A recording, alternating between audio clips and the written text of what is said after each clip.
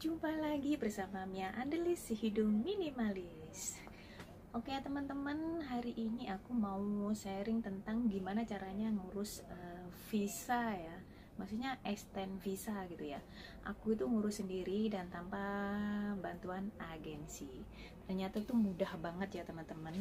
Yang pertama itu harus ada surat kayak gini ya. Ini aku ambilnya di imigrasi ya di lantai tiga yang sebelah sana ada yang pojokan itu sama apa asir gitu ya. Terus dia tuh aku tuh tanya e, gimana caranya e, ngurus extend visa. Terus dia tuh kasih lembaran ini. Dan ada dok apa yang lain gitu ya buat suruh diisi. Nah ini tuh sudah lengkap semuanya yang suruh ngisi tuh kayaknya di sini sudah ada tertera nanti maaf kertasnya sudah aku setorin ya ke imigrasi. Dan sekarang aku tuh cuman pinginnya sharing aja. Itu semuanya tuh diisi semua. Itu termasuk paspor. Eh, paspor apa gimana gitu namanya terus tinggalnya di mana gitu. Semuanya diisi terus tanda tangan kita ada yang di bawah situ. Nah itu nanti bisa di eh, apa fotokopi paspor juga uh, depan itu. Terus uh, kontrak kerjanya kontrak kontrak yang ada di paspor itu ya itu di fotokopi yang di sampingnya sebelah itu ada fotokopinya. Nah di situ nanti kalau sudah lengkap semuanya kita tinggal ngasihkan ke uh, apa petugasnya ada kan yang di depan itu kita ngasihkan di situ dicek semuanya. Dan setelah itu kita itu langsung di langsung itu kan sudah di semua itu, itu terus kemudian langsung disuruh e, ngasih surat ke majikan gitu. Ada surat majikan gitu gimana nanti ditanya gimana kok kak? Kamu nggak ulang? gitu. Itu di situ ada tanda tangan majikan. E, sebenarnya nggak ribet ya kalau kita kalau kita sudah tahu gimana itu suratnya itu. Karena aku kan masih belum pernah ngurusin sendiri ya. Tapi alhamdulillah aku sudah uh, punya lembaran itu. Nah nanti aku nanti bisa lihat ya. Kayak ini suratnya. Sebentar. Nah kayak gini. Ini surat majikan.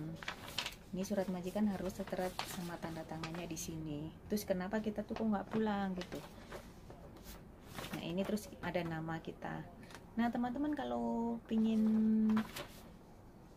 e, minta kayak selembar ini aku ada nanti bisa minta ke nomor aku. Nah di sini ya nomor aku di WA aku. Nanti aku kirim gimana caranya. Di situ ada nanti bisa tulis sendiri tinggal niruin aja. Tinggal ganti nama namanya. Ini kan namaku. Tinggal ganti nama e, kamu yang pingin ngurus extend visa. Nah setelah itu ini terus di scan bisa dikirim atau langsung dikasihkan ke sana. Kalau aku enggak aku kasihkan di sana. Kalau minta di itu dikirim tuh di scan nah ini juga bisa. Ini sama nanti kalau butuh apa nanti aku bisa kirimkan ke yang ada yang kalau mau WA nah setelah ini di scan ini nanti nanti udah kita tuh pulang. Nanti ternyata ada surat lagi ya? Langsung ke rumah gitu imigrasi langsung kirim ke alamat kita. Nah lalu kalau sudah ke alamat kita nanti kita tuh dikirim dari imigrasi kayak gini ya.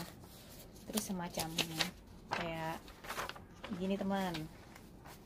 Ini karena aku sudah gunting ini suruh bayar ke 7-Eleven di 7-Eleven kita tuh tinggal klik bayar yang 230 itu aja ya setelah bayar kita tuh kirim balik.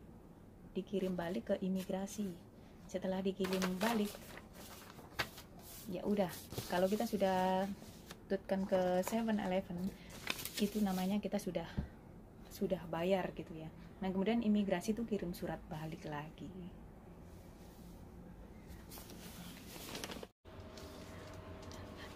Nah, teman-teman, surat yang dari imigrasi sudah datang ya, karena aku kemarin kan mengajukan extend visa ya. Ini cepat sekali ya. Nah, ini ini visanya sudah dapat. Yang ternyata mudah banget ya kalau begini bisa ngurus sendiri extend visa, jadi nggak melalui agensi. Nah, ini visanya sudah jadi, tinggal nempel di uh, paspornya kita ya nah ini sudah ada penjelasan semua dari amplop ini ini yang buat ditempelin ke paspornya Nah, terima kasih teman-teman. Nah, semuanya sudah jelaskan dan mudah banget dan beginilah caranya uh, ngurus extend visa sendiri ya tanpa bantuan agensi. Biasanya kalau agent kan mahal, jadi bisa ngurus sendiri. Oke, terima kasih sudah menonton. Wassalamualaikum warahmatullahi wabarakatuh. Bye bye. Teman-teman, hari ini uh, masih di area Wanca ya di imigrasi stasiun nah ini masih ini mau pulang ya guys